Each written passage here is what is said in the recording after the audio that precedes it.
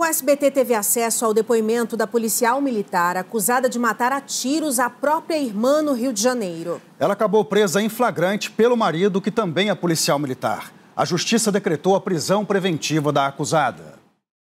A policial ficará por tempo indeterminado no Batalhão Especial Prisional em Niterói, na região metropolitana do Rio.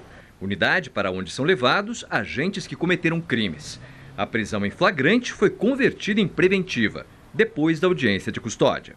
Railane Oliveira de Melo, de 30 anos, matou a irmã após uma discussão.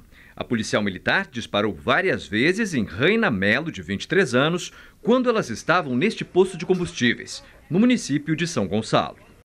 Na delegacia, Railane declarou que depois de comemorar o aniversário de um familiar, saiu para beber sozinha em um bar perto de casa e que a irmã chegou depois.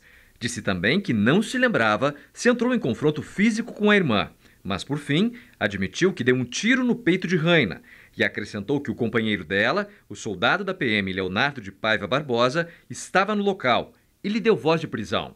Leonardo também prestou depoimento. Ele afirmou que na noite do crime, Railane voltou para casa no meio da madrugada para buscar alguma coisa, possivelmente a pistola dela, e que depois recebeu telefonemas da sogra e de outra irmã da companheira, dizendo que Railane estava muito nervosa.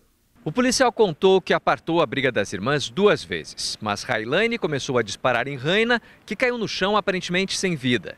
Ele revelou que fazia algum tempo que a companheira apresentava um comportamento nervoso, sem paciência e que brigava em casa por motivos financeiros.